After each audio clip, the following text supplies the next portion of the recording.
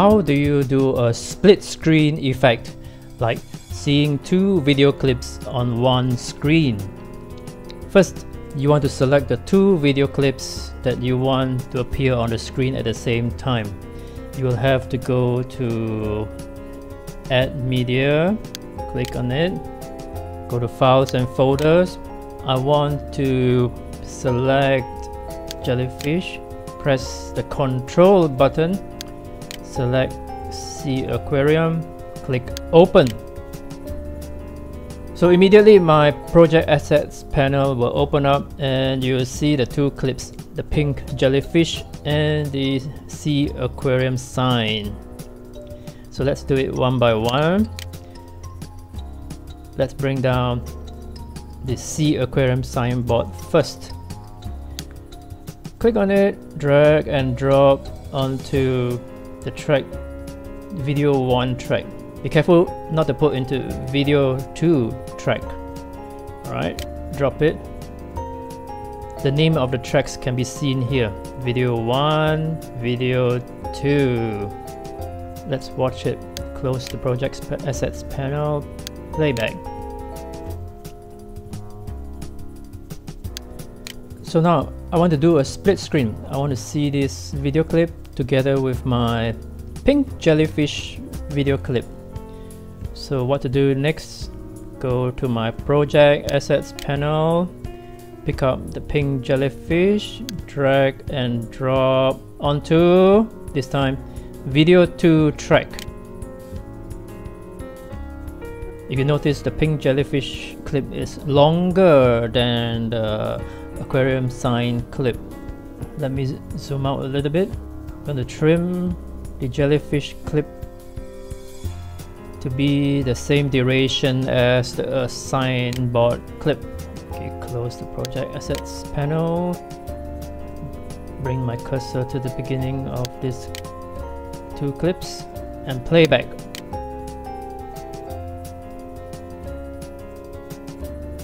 If you notice, the jellyfish clip is playing and now you cannot see the aquarium sign clip. is because the jellyfish clip is sitting on the top layer video 2 track. Whatever is on top covers whatever is on the bottom. To make it clear, let me open up this track here so that you can see the thumbnails and you know what we are dealing with. To make it clearer, I want to zoom in to reveal the bottom clip so that I can see two clips at one time, I will have to make the top clip smaller. Select this clip by clicking on it. Go to the Applied Effects. In the Applied Effects panel, go to Motion, click on Motion. Immediately you see a, a white rectangle with square handles around it. Adjust the square handles inwards your image gets smaller. You notice now we are beginning to see the aquarium sign behind. Okay, you can go very small, but let's say I just want about this size. Then let's drag it to the right and place it here. I want to do the same thing to the sign. Click on the signboard clip here and then go to applied effects click on motion. Again you see the white rectangle and adjust the square handle. Same make it smaller push it to the left.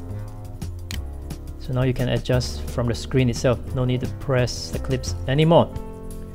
So let's enlarge this guy. And then enlarge this guy do a little bit more adjustment. Signboard move a little bit here. Jellyfish move a little bit here. Enlarge a little bit more. Make it the same size. Go down. And there. I have two video clips on one screen. How do I know? Let's go back to the beginning of these two clips by clicking on this I'll bring my playhead back to the beginning of these two clips. Let's play. There you go, two clips playing on one screen.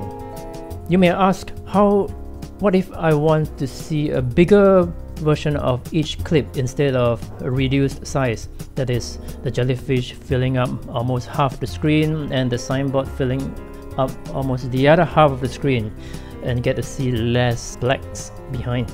So here goes, what we need is the crop effect. I go to effects, search for crop effect, crop, there you go, crop, drag and drop the crop effect into the signboard clip. You can see by default it crops for you this way, that's not what I want. Going into the applied effects panel, click on crop, so let's do the cropping. I just want the words, okay, make it taller, taller, that's it.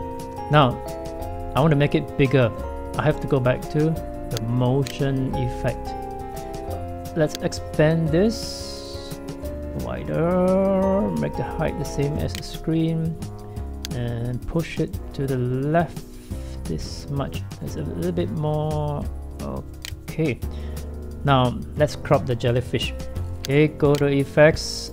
My crop is still selected here drag and drop the crop effect into the jellyfish clip go into the apply effects panel click on crop let's crop just enough to see the jellyfish. Increase the height. Increase the height. Yep.